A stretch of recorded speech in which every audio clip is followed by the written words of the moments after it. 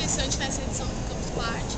foi a inclusão digital, o movimento que estão fazendo da inclusão digital, porque eu acho interessante, todo mundo tem direito de acessar a internet, por seu